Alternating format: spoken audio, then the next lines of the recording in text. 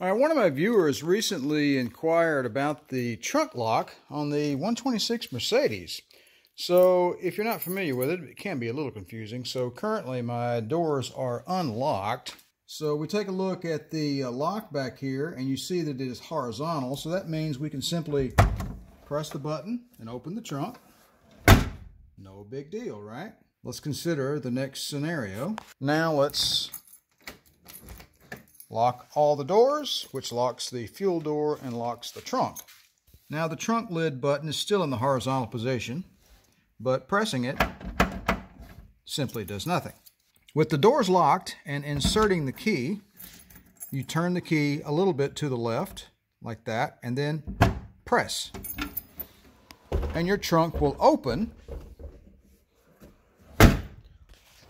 while your doors are still locked.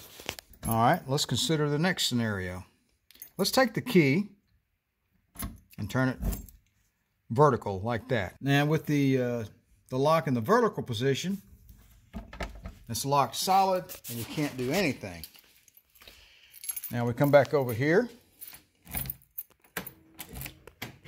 and we unlock the doors, which unlocks everything except for this time the trunk because we have it in the vertical position. It is absolutely secure. So, so if you want your trunk to remain locked, even though your doors are unlocked, which is typical for most vehicles, then you will want your key to remain in the vertical position.